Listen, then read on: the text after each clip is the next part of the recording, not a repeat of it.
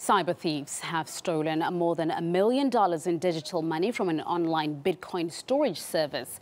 Hackers breached the host by manipulating flaws in the system, which uh, authenticates users. Now, they made off leaving no trace, having emptied the virtual vault almost completely.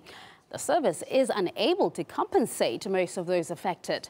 The operation is the latest incident showing how imperfect the system remains. Basically, Bitcoins are digital cash enabling peer-to-peer trading without banking fees or regulations. You can even exchange it into real currency.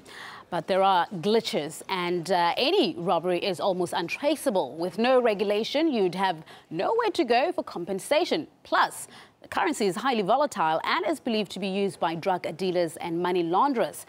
But entrepreneur William Mook believes a Bitcoin is still a canny investment.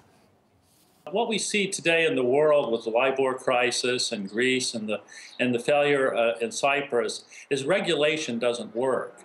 Um, you have regulatory capture, you just have system failure. And uh, the thing that makes uh, Bitcoin exciting for people who believe in Bitcoin is the fact that it's an emergent system. If it does require regulation to survive, then it really wasn't as good as we thought it was.